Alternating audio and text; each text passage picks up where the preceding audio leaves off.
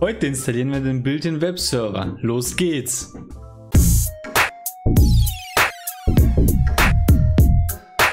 Ja, hallo, mein Name ist Vitali Mik. Willkommen auf meinem Kanal. Hier lernt ihr alles über PHP, Webentwicklung und Spieleentwicklung. Im heutigen Video zeige ich euch, wie ihr einen PHP Built-in Web Server startet und konfiguriert. Als erstes geht ihr auf die Seite windows.php.net und klickt oben in der Leiste den Download-Button. Dann seht ihr eine Liste von den verschiedenen PHP-Versionen, die ihr dort downloaden könnt. Lädt euch am besten die neueste Version herunter. Heute ist das die Version 7.3. Achtet bitte darauf, dass ihr die Thread-Safe-Version herunterlädt. Den Unterschied zwischen Thread-Safe und Non-Thread-Safe erkläre ich in einem anderen Video. Sobald ihr die ZIP-Datei heruntergeladen habt, entpackt ihr diese auf eurer Festplatte Idealerweise unter Laufwerk D oder C, je nachdem, ist egal. Nachdem ihr die Datei extrahiert habt, guckt ihr in den Verzeichnis hinein. Da gibt es eine php.ini-development und php-ini-production Version. Macht eine Kopie von der Development Version und benennt diese um in php.ini. Anschließend bearbeiten wir diese ini-Datei mit einem Texteditor. Das erste, was ihr dort einstellen müsst, wäre die Zeitzone. Einfach in der Datei nach Timezone suchen und dorthin scrollen.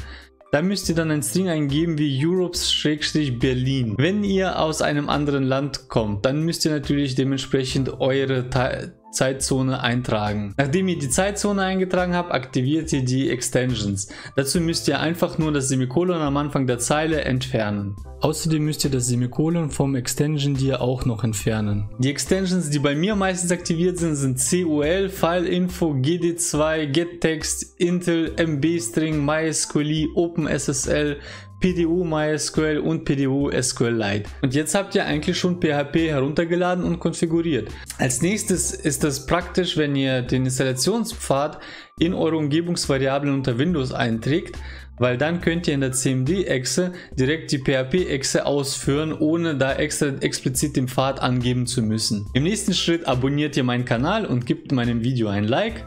Ansonsten funktioniert euer Webserver nicht. Nein, Spaß beiseite. Und schon könnt ihr den Built-in Webserver nutzen. Dazu legt ihr irgendein Projektverzeichnis an, irgendwo auf eurer Festplatte, navigiert dahin über die Command-Line und startet mit dem Befehl php minus großes S localhost Doppelpunkt 80 für den Port minus T Punkt um Startverzeichnis anzugeben. Sobald ihr Enter drückt, beginnt euer Webserver zu laufen. Wenn ihr nun im Browser localhost aufruft, seht ihr dann nichts.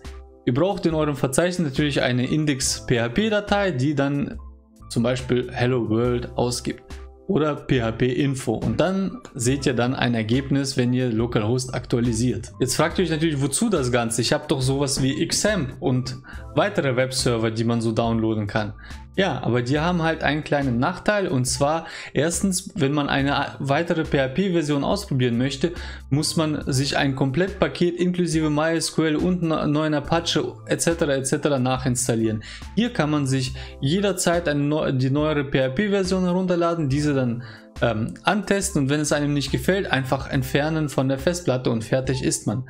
Dann ist man noch gebunden durch dieses Apache Web Server an die htdocs-Datei.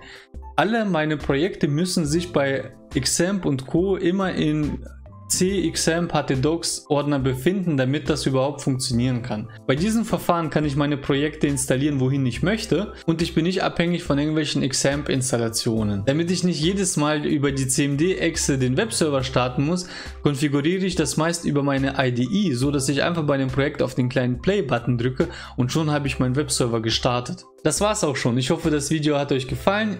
Hoffentlich habt ihr was dabei gelernt. Abonniert meinen Kanal, gebt mir einen Daumen nach oben. Was nutzt ihr eigentlich? Nutzt ihr Xamp? Nutzt ihr Vagrant? Nutzt ihr Docker? Schreibt das doch mal in die Kommentare. Über eine Diskussion würde ich mich sehr freuen. Ansonsten bis zum nächsten Mal. Tschüss.